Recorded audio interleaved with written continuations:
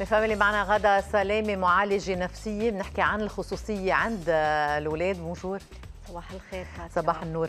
اليوم موضوع الخصوصية موضوع كتير مهم أكيد. الأهل بيكونوا كتير يعني أوقات overprotective يمكن وكتير بدهم يضلوا عارفين أولادهم شو عم بيصير معهم بالتفاصيل المملة. بأعمار معينة شغلة منيحة بعمر صغير يعني ولكن بأي أعمار ببلش الولد خلص في عنده أشياء بده يخليها لإله. أول شيء الولد هو وقت اللي بيكون عم بيتغير من مرحلة لمرحلة ونحن هلأ عم نحكي عن مرحلة ما قبل المراهقة لا يوصل هو للمراهقة. أي عمر يعني؟ يعني 12 13 هون ببلش الولد يطلب الخصوصية. ونحن كأهل نحن مجبورين إنه نحترم هيدا هيدا الشيء لأنه هو وقت عم بيطلب هالخصوصية نحن بدنا نساعد الولد. يعني بدنا نعرف إنه ابننا عم بيتغير أو بنتنا عم بيتغيروا عم بيكبروا. وقت اللي بيكون الولد عم بيكبر بيكون هو عم بيطلب الاستقلالية وبال تيوصل للاستقلالية وأنا مضطرية ساعده ليوصل للاستقلالية لازم يكون في الخصوصية وأنا كأهل واجبي إنه أحترم هالخصوصية وساعده عليها. بدي أعرف إنه ابني بده هو عم بيتغير عم بيتغير جسمه عم بيتغير عم تتغير العواطف عنده عم بيتغير تفكيره. أه بدي أسمح له أسمح له هو يختار ثيابه أسمح له هو ينقي غرفته أه أسمح له كمان هو حتى الموسيقى ينقيها أسمح له حتى ال weekend هو يقرر فيه. لأنه أنا وقت اللي بكون عم ساعده يبلش ياخذ قرار عم ساعده يبلش يكبر. وبدي ألعب بهالشغلة إنه بعرف إنه في قرارات إنه الأهل هن بياخذوها البيسكس بس كمان بدي بلش أنا أسمح له هو ياخذ قرار حتى كرمال عوده إنه هو يكبر إنه هو ياخذ مسؤولية حاله. فبقى الأهل هون ما يكونوا قلقين وقت اللي بيشوفوا إنه هالولد عم بحب ينعزل عم بحب يقعد لحاله عم بحب هيدا شيء كتير طبيعي. الخصوصية يعني هي من توابع التطور عند الولد وهو بهالعمر بيطلبها وبيصير بده إياها هيدي عم نقول ما قبل المراهقة يعني عمر المراهقة بده يكون خلص هو صار عن جد عنده خصوصية عنده خصوصيته صار يعرف يتصرف فيها كمان مش أكيد. بس صار يقدر يتصرف أكيد. فيها بالمعزل عن أهله صار يعرف يتصرف, يتصرف فيها. فيها يعني بدها مراحل بد مراحل هو أنا وقت اللي كمان كنت عم بعود ابني على هال خصوصية إذا أنا كمان عم بطلب منه كمان يحترم خصوصيتي. يعني إذا بده يفوت لعندي على الأوضة لازم يدق على الباب كمان أنا لازم أعمله بالمثل. لأنه هو كمان شخص بهالبيت مثلي مثله. بدي أحترم المساحات تبعه. بده يكون عنده مساحة بالبيت. بده يكون عنده اسمح له يكون عنده هال هالوقت اللي بقضيه فيه مع بينه وبين حاله لأنه هو عم بيكبر هالولد هو بحاجة انه لأنه بصير في تغيير بدي أتقبل هالشيء بصير في تغيير ما عم بيكبروا هالولاد. عم بصير في تغيير نفسي عم بصير في تغيير جسدي عم بصير في تغيير عاطفي. بده يقعد بينه وبين حاله بحاجة لهالإسباس انترن حتى يختبر رغباته يختبر هو شو بحب يختبر هو كيف بده يعني يشوف هالعالم. حتى كرمال نوصل يقدر هو يحدد هويته. بالمجتمع ويعرف كيف هو بده يكفي بهالمجتمع. عم تحكي عن مساحة مساحة نفسية ومساحة فيزيكال كمان أكيد مساحة جغرافية إيه بالبيت. يعني حتى لو زاوية يعني. إيه أكيد. كيف أنا بالبيت عندي أوضتي عندي تختي عندي آه المكان اللي أنا آه بقعد فيه برتاح فيه هيدي أوضته أنا لازم أسمح له فيها أوضته يلي هو بيبكي فيها بيضحك فيها بيحكي مع أصحابه بيعمل بروجياته يعني هيدي هالأوضة أنا مفروض فيني أحترمها. يعني ما فيني فوت لعند ابني افتح الباب وفوت عليه بدون ما أنا دق على الباب لأنه هون ب... أنا بخفف له قلقه لما دق على الباب وانطر الجواب بخفف له قلقه. يعني. وإلا أنا تخيلي هال هالأهل الانفاهيسانت يعني المهيمنة بدي افتح الباب وفوت افتح الجرور وآخذ غراض. لا لازم أنا أحترم هالخصوصية له وكل ما أنا كان عندي ثقة أو اعطيته الثقة وهو وثق فيني كل ما رح تكون هالأمور أهون. نحن حاكيين بحلقات سابقة إنه أنا كل ما كان عندي صداقة مع أولادي مع آه ابني أو بنتي كل ما أنا رح يكون كل شيء هين علي بعدين. الصداقة يلي هي بتفرض إنه يكون الواحد عم يحترم صديقه يعني. الصداقة يلي هي في احترام يعني الصداقة هي للمساحه يلي عم نحكي إيه عنها. والصداقة اللي أنا بدي أكون مكونتها أنا وبنتي أو ابني بدها تكون هي الصداقة منطلقة منه هو مش إنه أنا تشكي له مشاكلي هموم المادية والمعنوية والزوجية والعاطفية لا. صداقة من من اهتماماته هو يعني أنا أكون قريبة منه أكون آه، يعني كل عمر عم بعيشه معه عم أحب الفترة معه آه، ألعب معهم آه، أحضر تي في معهم أعمل بروجيات أحكي معهم أحكي.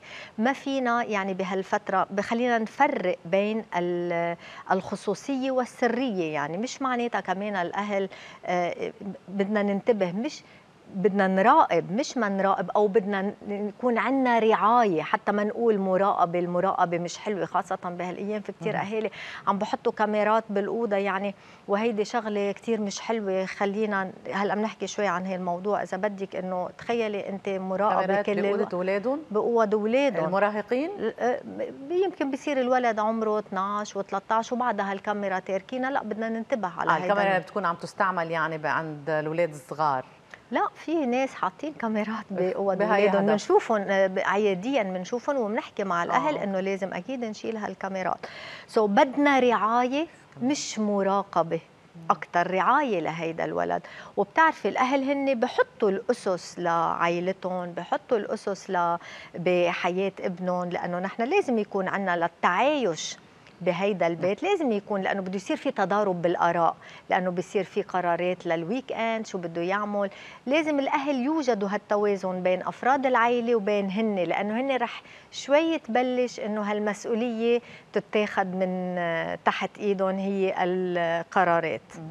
على كل حال إذا عم نحكي عن مراقبة مثل ما عم تقولي وكاميرات مراقبة إذا ما كان يعني في هالعلاقة الحلوة بين الأهل وبين الاولاد وهالتربية اللي مراحلها مثل ما عم بتقولي كلها معاشه بطريقة صحية لا كاميرا بتفيد ولا شيء. ولا أي مراقبة بتفيد يعني. صح صح. وأي تدخل ما بيفيد صح يعني بالعكس أيوه. بيدفش أكثر للاشياء اللي خايفين منها الاهل وأنا وقت اللي بكون عم بعلم ابني أحترم له كيانه احترم له مساحته هو رح يظهر على المجتمع هيك يعني.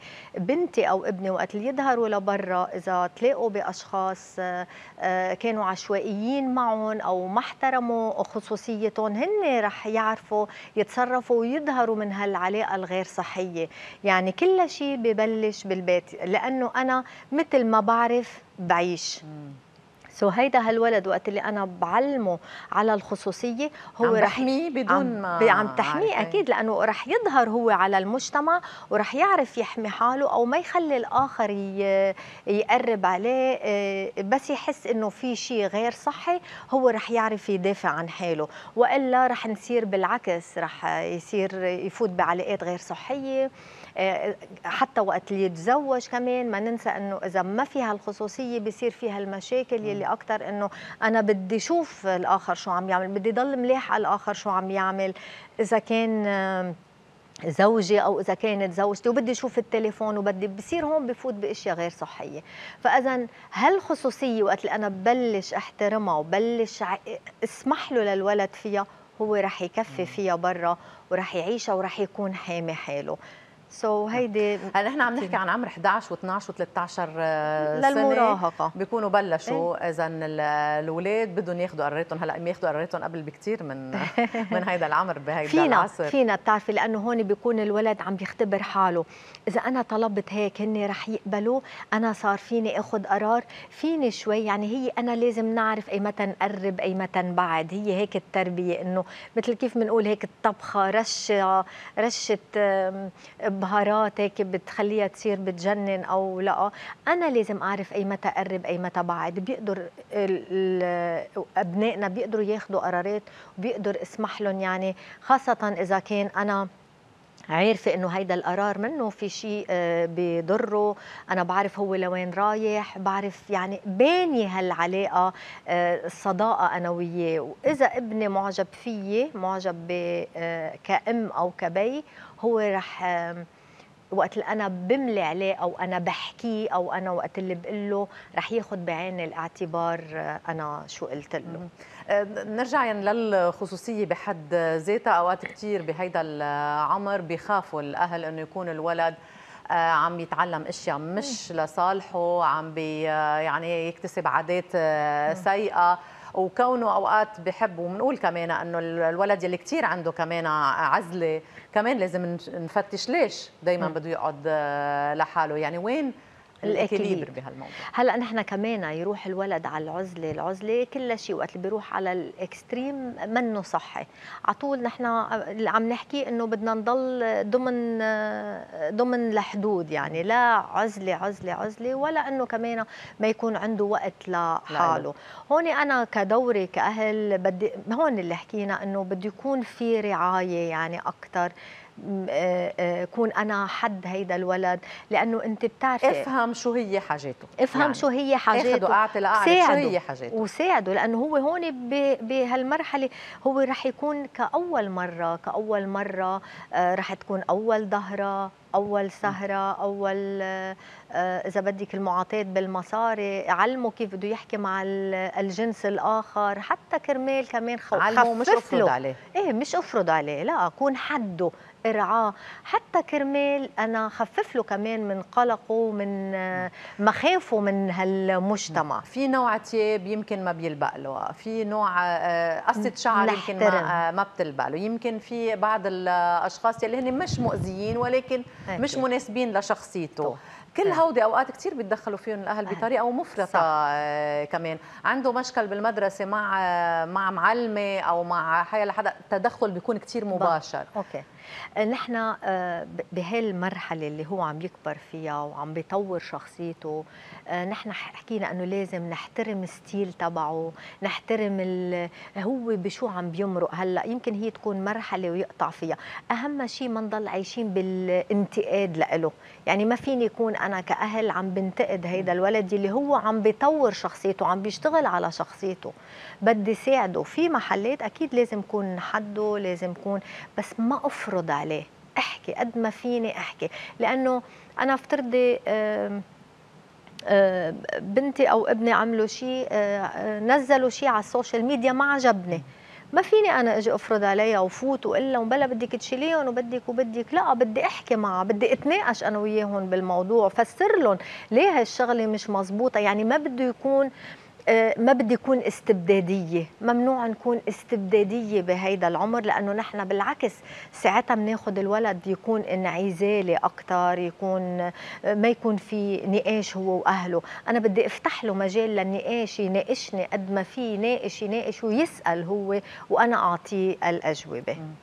واليوم عم نحكي عن أول ظهره وأول سهرة بهيدي الظروف اللي نحن عايشين فيها. الناس يعني كمان عندهم حماية مفرطة لاولادهم لأنه ظروفهم هن كمان صعبة. هون كمان قد لازم يكون في نقاش كمان بهالموضوع ولو كان عمره صغير ويمكن بعد إيه. ما بدنا نحمله هموم الدنيا يعني. ليكي كاتيا بكل بيت هو في مثل آه، قانون قانون داخلي لكل بيت. هدول أنا لازم يكونوا موجودين خاصة نحن بحاجة لهم لأنه حتى أبنائنا بيظهروا على المجتمع بيروحوا على مدرسة في قانون بيروحوا على شغل في قانون. يعني أنا هون كنا عم بعلمه إنه في قانون داخلي في إشياء أساسية أنا حاطتها وأكيد الكل لما بنكون نحن عايشين بفرد بيت بدنا نكون متفقين عليها. يعني آه، ممنوع مثلا نروح على هيدا آه، ما بحب تروح لهيدا المحل بكون حاكي أنا وياه بهيدا القرار أو مثل ما حكيتيني إنه عن في منطق بالموضوع مش بس في منطق بالموضوع. مثل ما حكينا إنه في أمور في أشياء قوانين داخلية بكل بيت عنده قانون داخلي له بدنا نكون نحن بنعرفه بدنا نكون نحن مع أولادنا آه، حاكين فيه لأنه كمان بهيدا القانون وقت اللي هو بفوت بهيدا القانون بقلب البيت هو رح يظهر لبرا لأنه بالشغل في قانون هيدا كله رح يسهل له حياته منه رح يكون شيء معرقل له حياته. هون أنا بكون كمان عم ساعده يعني شفتي هال هالتوازن اللي أنا بدي بدي أنا أستدخله ككبيرة قبل حتى أرجع أنا آه، خلي ابني هو يستدخله. هالتوازن هيدا يلي أنا كأهل بده يكون عندي بده يكون شاغل عليه وبده يكون كمان مثل ما عم نحكي من نحن وصغار كل مرحلة لها قوانينها ولها إيه بدنا نعرف أمتى بيتغير القانون إيه كمان لأنه ما بيسري على كل أفراد العائلة نفس الشيء لأنه الأعمار وزيت الأعمار ما هيدا اللي عم نقول. يعني نحن حياتنا منا موسمية. يعني كل موسم بتتغير مع الولد. هلأ عمره ثلاث أشهر في شيء ست أشهر شيء سنة شيء عرفتي؟ يعني كل هول المراحل نحن كمان بدنا نكون شاغلين عليهم من قبل إنه منه هلأ بس بعمر المراهقة إنه أنا جيت بلشت بدي فوت أستدخل هالأمور كلها. لا أكيد بدنا نكون شاغلين من وقت اللي من زيرو من وقت ما لما هالقد بيكون في يعني وضوح كمان بالنقاش بين الأهل وبين الولد وهالقد مقتنع الولد إنه أهله مش لأنه طالع عبالهم عم بيحطوا قانون لأنه هالقانون مفسر واضح معروف ليش انشغل عليه مش لأنه بس طالع على بالهم أوقات كثير بيكون بس لأنه طالع على بالهم الاهل يعني كمان بحطوا قانون آه، تعسف. إيه ممنوع الاستبدادية. هون لما هون لما هالقد بيكون في وضوح بالنقاش وما في استبدادية مثل ما عم بتقولي كأنه الاولاد حتى بعمر المراهقة بيصيروا يحترموا مخاوف أهلهم. أكيد. بصيروا عتلانين همهم ليخافوا عليهم يعني. بصيروا يجربوا كمان ياخذوا ويعطوا لحتى يريحوا هالأهل. يعني هون ظهراتهم إيه كثير حلوة هالجملة اللي قلتيها. هون بيصير في مثل إذا بدك هيك كومباتيبيليتي بين الأهل والأولاد. بيصيروا الأهل بيعرفوا بيعرفوا حدودهم. يعني الجملة اللي قلتيها صار الولد يعرف حدوده تجاه أهله. ليه؟ لأنه أهله عرفوا حدودهم تجاهه. so هون صار في هال compatibility وصار في هالتعايش وهالتقارب. نحن بحاجة إنه الأهل يصير في تقارب بين الأهل والولد. مش لأنه صحيح نحن في فرق génération بس نحن بحاجة إنه نحن نقرب نحن لعندهم وهن يقربوا لعنا. فبقى هون بيكون أكيد نجحت كثير هالطريقة وصلنا لحل كثير مناسب بين الأهل والأولاد. غدا سلامة معالج نفسي أهلا وسهلا فيكي. شكرا كثير لهالصبحية الحلوة وقفي هلأ وبنرجع بنتابع لايف